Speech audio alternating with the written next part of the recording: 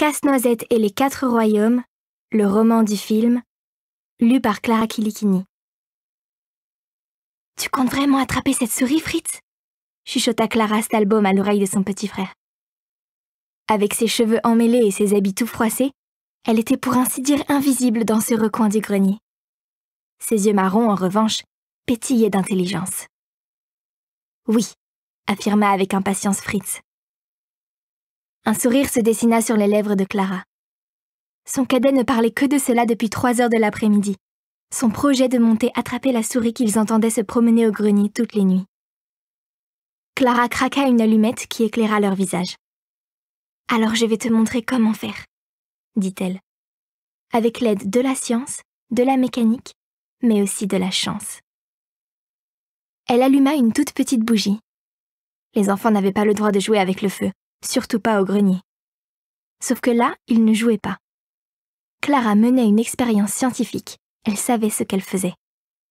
La fillette disposa la bougie sous une montgolfière miniature, le premier élément de son plan brillant. En effet, une série de leviers, de poulies et de rampes étaient installés dans le grenier, activés par des ballons, des balles et des jouets, tous placés avec une précision d'horloger. Au bout du circuit, un panier ne demandait qu'à s'abattre sur la pauvre souris sitôt qu'elle attaquerait le biscuit. Chaque chose était à sa place. Le piège allait se déclencher au moindre contact. Déjà, énuméra Clara, nous avons de l'énergie. C'est la chaleur de la bougie qui fait monter le ballon. Fritz suivait des yeux l'ascension de ce dernier qui alla percuter une balle posée au sommet d'une rampe en bois. Nous avons ensuite le mouvement, enchaîna Clara, celui de la balle, la balle s'écrasa contre un singe mécanique. Elle heurte le singe, qui à son tour appuie sur le soufflet. Soufflet qui gonfle la voile du voilier, trépigna d'excitation Fritz.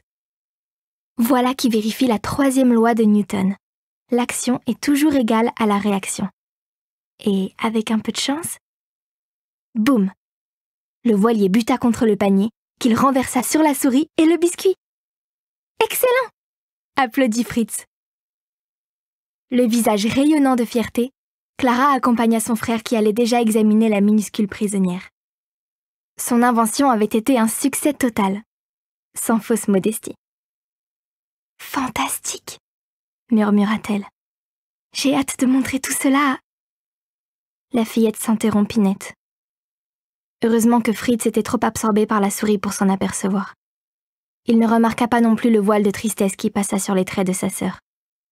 Il ne devina pas le mot qu'elle avait retenu. Maman, prononça pour elle-même Clara.